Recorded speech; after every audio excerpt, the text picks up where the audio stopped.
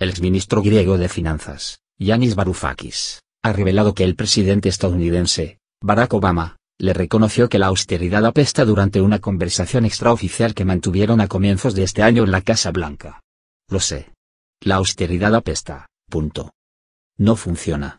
Solo crea miseria y se perpetúa y derrota en sí misma.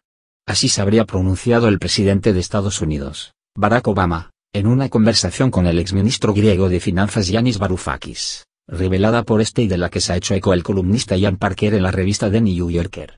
El encuentro, que duró 10 minutos, tuvo lugar a comienzos de este año en la Casa Blanca con motivo de la celebración del Día de la Independencia griega.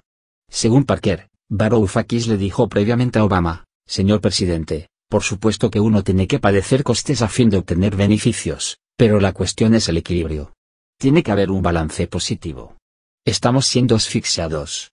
Asimismo, el exministro reconoció ante Obama que, a pesar de que el presidente de Estados Unidos heredó un desastre, al menos era respaldado por su Banco Central.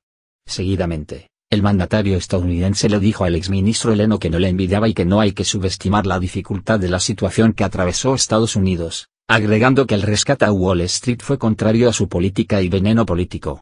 Asimismo, instó a Varoufakis a tragar con las amarguras en el contexto de la crisis. Varoufakis le confesó a Obama que no había sentido la misma camaradería al hablar con el secretario del Tesoro de Estados Unidos, Jack Lew. Ya sabes cómo son los ministros de finanzas. Son más conservadores, respondió Obama. La Casa Blanca no se ha pronunciado sobre estas declaraciones.